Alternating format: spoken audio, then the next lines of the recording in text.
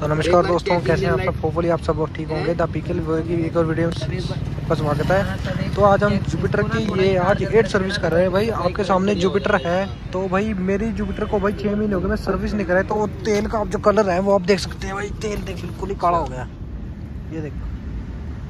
पूरा ब्लैक तेल है और आपको दिखा देते हैं। हाँ, पूरा गर्म है भाई तेल। और ये इसका ओल फ़िल्टर है। कंडीशन तो ठीक ठाक है बट यार इसको कहते हैं कि पच्चीस हज़ार किलोमीटर पे चेंज कराना चाहिए और इसकी कैप है ये चीज़। तो भाई अंदर से कंडीशन आप देख सकते हैं भाई अपने जुपिटर की। यहाँ पे इसका चौसी नंबर लिखा रहता है। और ये देखिए कंडीशन बिल्कुल धूल मिट्टी जमी पड़ी है। और ये इसका एयर फ़िल्टर हो गया भाई। इसको भी साफ़ अच्छे से करेंगे अगर चेंज करना जो तो चेंज कर देंगे। ये भाई अपना एयर फ़िल्टर खुल रहा है भाई इसका जुपिटर 125 का। तो उसकी कंडीशन देख लेते हैं भाई बाईस किलोमीटर पे इसको चेंज करने जो है। मतलब अब इसको छः महीने हो चुके हैं जिसके अंदर डस्ट तो काफ़ी ज़्यादा है। अरे सूरज भाई बताओ चेंज करने ज़रूरत है?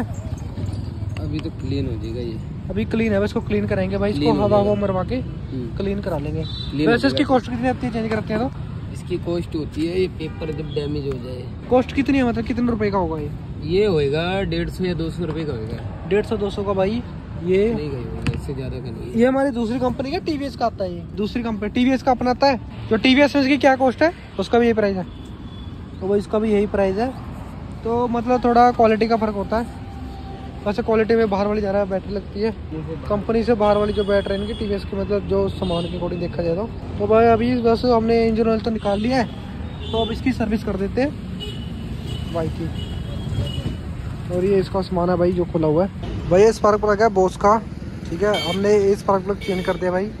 क्योंकि जब से हमने यूज़ कर रहे थे भाई इसका स्पार्क प्लग एक बार भी चेंज नहीं हुआ तो हमने इसको चेंज करा दिया भाई स्पार्क प्लग को। और वो हमने इंस्टॉल कर दिया। है यहाँ पे रखता भाई इसका स्पार्क प्लग ये रहा। स्पार्क प्लग ये रहा ना भाई? हाँ ये ये वाला। ये प्लग कैप है हाँ ये कैप के ऊपर स्पार्क प्लग है। और ये क्या चीज़ है? ये वाली। ये इसका ऑक्सीजन सेंसर लग रहा है एग्जॉस्ट वाला। अच्छा एग्जॉस्ट वाला सेंसर करा है। ये भाई इंजन है टी की बैटिंग देर से यहाँ पे। एक बार आपको पूरे हम इंजन का डिटेल रिव्यू बताएँगे हमारे सूरज जी। एक बार अलग से वीडियो बनाएँगे इसके ऊपर भी आपको डिटेल वीडियो देंगे। इंजन के बारे में भी और ये हम इसके भी चासी वगैरह इसकी ये जो टैंक के फुल टैंक सारा खोल के दिखाएँगे। हम आपको फुल वीडियो जो हमारी नेक्स्ट वीडियो होगी वो इस पे ऊपर ज़रूर देंगे भाई आपको जल्द से जल्द जब भी हमारा टाइम लगेगा। तो भाई ये हमारी 900 सौ की यहाँ पे इंजन ऑयल आ चुका है जो कि मैंने बताया था आपको सात सौ सत्तर सात सौ अस्सी इसका हमारा इंजनों में डलेगा जो बाकी का बचा हुआ है वो हमारा गेरोल में डलता है। ये भाई देखो ये टी वी एस से लेके आए हैं। टी वी एस में हमको चार सौ रुपये का मिल जाता है ये आराम से। अगर उसे अगर बाहर से भी लो वो भी अच्छा है। वह मैं वैसे आ, हमने ये भी आज ये भी डाल के देख लेते हैं भाई ये कैसा है। क्योंकि तो हम सारी सर्विस में हम अपना कैस्ट्रोल वगैरह का यूज़ किया था हमने पहले दो सर्विस में। और इसको और इस वाली सर्विस में टी वी एस का ट्रू फोर स्कूटर डाल रहे हैं। देखो देखते हैं इसकी परफॉर्मेंस कैसे आ जाती है। इधर तो आओ। नट भाई इतने सारे खुल जाते हैं भाई सर्विस करने के लिए।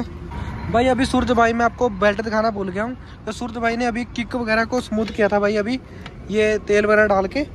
तो ये काफ़ी ज़्यादा जाम हो गई थी। अब तो ये वापस आ रही है। ठीक है पहले आ रही थी इन्होंने इसके अंदर पोलिंग वगैरह कर दी है। और इसको खोला क्योंकि अब हमारी जो गाड़ी है भाई आपको एक बार मीटर भी दिखा देता हूँ मैं। भाई देखो मैं आपको भी दिखा ओडो में देखो बाईस हज़ार बाईस। मतलब ये कह रहे हैं कि पच्चीस हज़ार रुपये भाई अगली जो नेक्स्ट सर्विस होगी उसमें भाई पक्का बेल्ट जो चेंज कराना क्रैक आ रहा है काफ़ी ज़्यादा। और ये देखो बी एस सिक्स की ये एक्टिव बाइक है। ठीक है? ये जो देखो। ये ऐसे दिखाओ भाई सूरज भाई। ऐसे ये देखो ये देखो भाई इतने क्रैक आ रखे हैं भाई। मतलब ये पच्चीस हज़ार किलोमीटर पे हमें चेंज करानी बहुत ज़रूरी होती है। नहीं तो मतलब आपकी इंजन इंजन घूमेगा और स्कूटी वहीं पे आपकी खड़ जाएगी। कहीं भी टूट जाएगी और कहीं भी टूट सकती है बेल्ट मतलब इसको टाइम पीरियड होता है इसका एक इसको चेंज चेंज करा लेना चाहिए। चलो भाई सूरज जी बताओ कैसा रहा फिर? मस्त सर्विस सर्विस करा के कैसे चल रही है? ठीक चल रही है? तिरपन का एवरेज दे रही है वो एवरेज मीटर पे दिखा रहा होगा तिरपन का। बाकी भाई हमारी स्कूटी की जो सर्विस है हाँ बाकी कंप्लीट है। जो टायर था लूज हो वो एकदम टाइट हो गया ना? भाई हमारा जो ये टायर था ना वो लूज था वो हमने टाइट कर दिया है। ये पता नहीं लगा था मुझे। ये नट वाला। ये वाला नट हमारा वो लूज हो गया था। अब इसको टाइट कर दिया है। तो भाई, एक साथ हम वीडियो को ख़त्म करते हैं, मिलते हैं हमारी नेक्स्ट वीडियो में।